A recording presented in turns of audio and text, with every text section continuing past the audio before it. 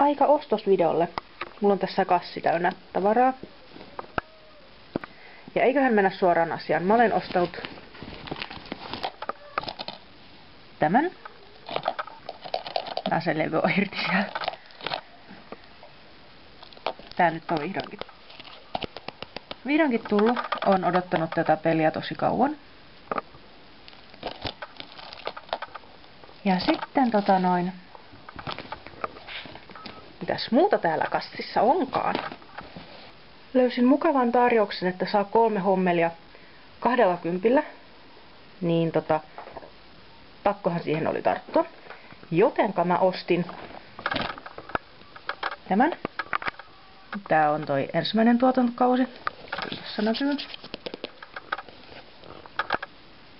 Ja tota noin, tässä on vaan se harmi juttu, että tää on rikki täältä. Mutta tota, mä saan uuden tämmöisen. Ja kuulemma mä saan pitää tän. Tota, sit mulla on kai kaksi näitä. Mut tosiaan tämä. Ää, sitten ykkösestä siirrytään tietenkin kakkoseen. Eli mä oon ostanut tämän toisen tuotantokauden. Mutta aika jännä, tässä on, tää on muovissa, tää ei ole muovissa. Ja sitten tässä, tässä on niinku tämmönen, muovi on tässäkin. Mut joo, tosiaan, toisen tuotantokauden.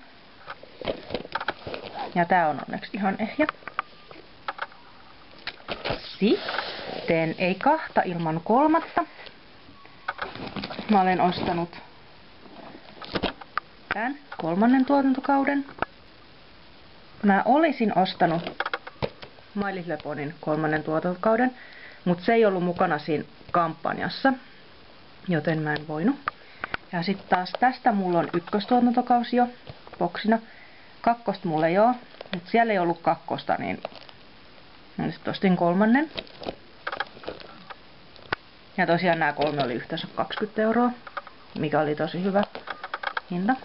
Ää, sitten jotain, minkä mä haluan tunkea tähän videoon, vaikka mulla on näille oma sarjakin. Mä olen ostanut Zelda-mangaa. Eli tämän.